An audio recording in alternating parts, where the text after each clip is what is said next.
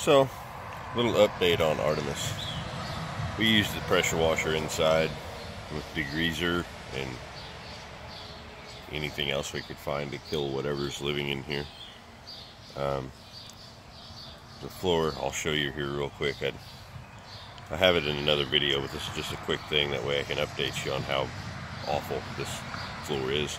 So, let me give you a little tour of the floor real quick before I head off to work. Right? So, there's your, you know, got ample space for feet.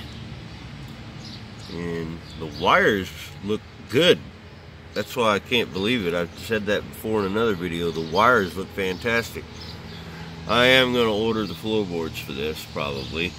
But, you know, I've had suggestions, you know, paneling, uh, some kind of old rollout linoleum, maybe some, you know, press board, something.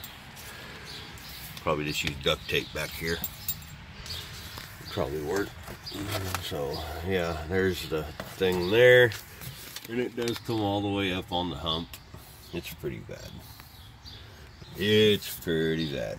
But the structure is there on the outside. Not that it matters. Full frame car. It's fine. You'll be hearing me say that a lot. Amber says I say it a lot. It's fine.